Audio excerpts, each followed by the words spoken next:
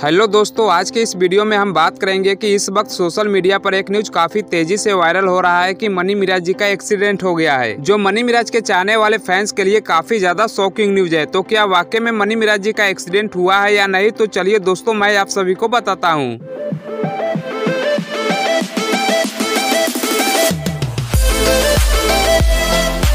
दोस्तों, जो न्यूज़ आप सब सोशल मीडिया पर मनी मिराज जी के बारे में सुन रहे हैं कि मनी मिराज जी का एक्सीडेंट हो गया है, ये न्यूज़ पूरी तरह से अफवाह है। जी हाँ दोस्तों, क्योंकि जब मनी मिराज जी को ये बात पता चला कि मेरा बारे में सोशल मीडिया पर बताया जा रहा है कि मेरा एक्सीडेंट हो गया है तो ये बात सुनकर मनी मिराज जी भी खुद शौक हो गए और वो मीडिया के सामने खुद बोले की नहीं, ये जो न्यूज़ है की मेरा एक्सीडेंट हो गया है, वो पूरी तरह से झूठ यानी अफवाह फैलाया जा रहा है। और मनी मिराज जी ने यह भी कहा है की अगर मेरा एक्सीडेंट होता तो मैं अपने इंस्टाग्राम अकाउंट पर डेली शॉर्ट वीडियोस अपलोड करता हूँ। अगर ऐसा कुछ भी होता तो फिर मैं अपने इंस्टाग्राम अकाउंट पर एक्टिव रहता ही नहीं। तो दोस्तों, अब आप सभी को पता चल ही गया होगा कि मनी मिराज के बारे में जो न्यूज़ आप सब सुन रहे थे वो पूरी तरह से अफवाह है। तो दोस्तों, अब आप सभी को क्या कहना है, हमें कॉमेंट के ज़रिए ज़रूर बताइएगा। और ऐसे ही इंटरेस्टिंग और मनी मिराज से जुड़े जानकारी के लिए आप हमारे यूट्यूब चैनल ऑफिशियल रमेश को ज़रूर सब्सक्राइब कर लीजिएगा। Thank you